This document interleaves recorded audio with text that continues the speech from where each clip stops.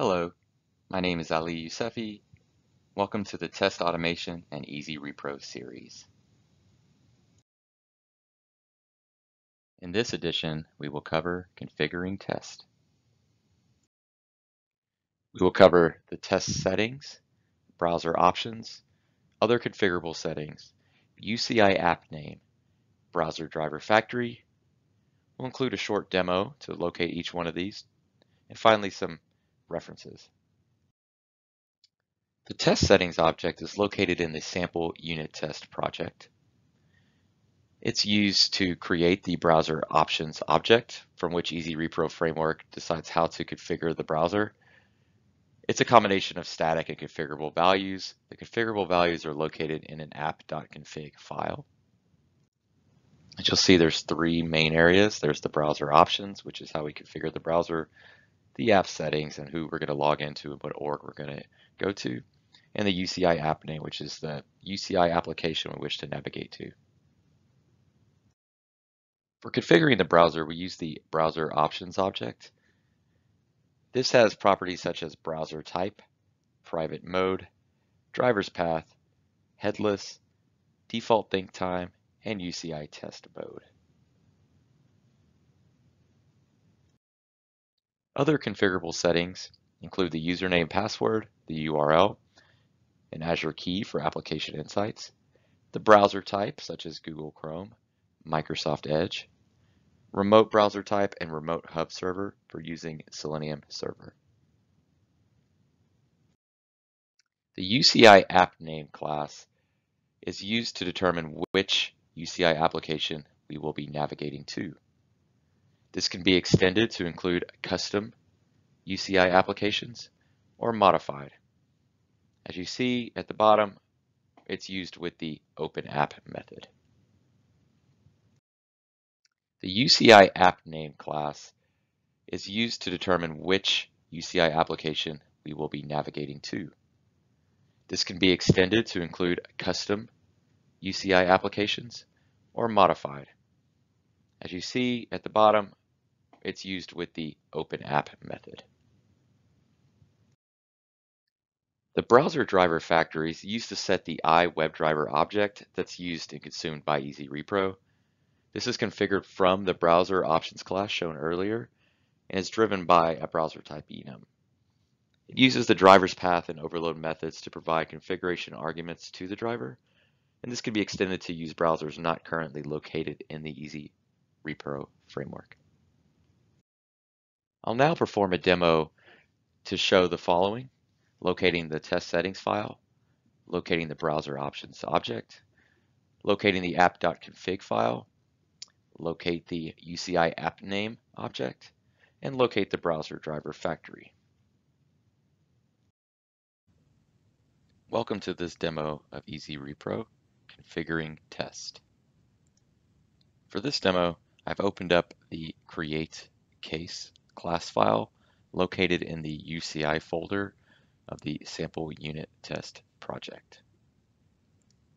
Once opened, you will see that there's three different private strings and URIs that we will be working with. The username, the password, and the XRM URI. Each of these is found inside of the application.config file that's also located in the sample project. Here you'll see the app.config file open with the app settings node shown. Inside of the app settings node, you will find the same three properties, online username, online password, and online CRM URL. These correlate to what is in this create case class to this username, password, XRM URI. In here, I'll set the username, something like test user at domain.com. Your password here be clear text, so please do not check this into source control or share this with others. Finally, you have the online CRM U, uh, URL. This will look something like this. You'll have your name of your instance, here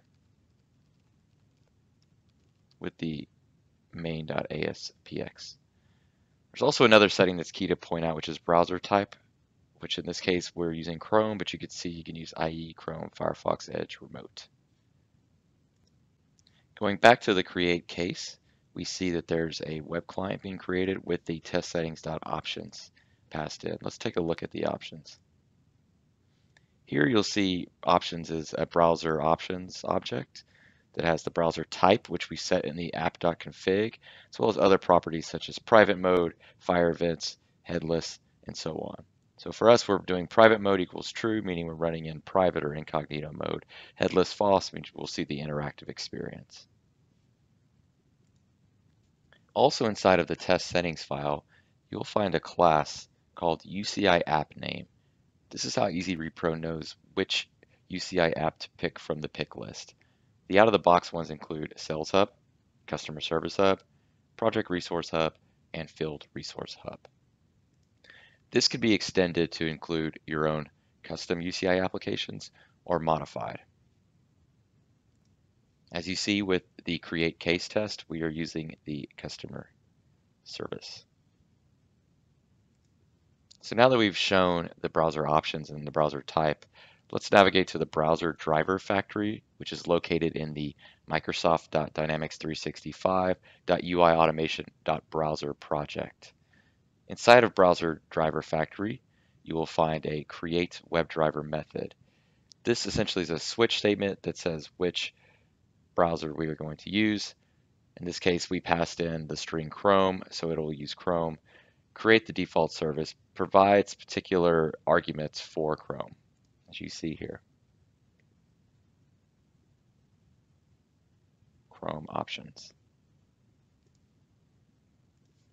Peeking inside browser options, we see to Chrome, which allows us to pass in particular arguments. This again can be extended to add whatever arguments you want. This concludes the configuring test demo. Finally, we'll leave with some references to the EasyRepro GitHub re repo into a blog post called Designing and Debugging EasyRepro Unit Test. Thank you for watching this edition of the Test Automation and EasyRepro series. You can find my contact information in the slide here, as well as in the description below. Thanks.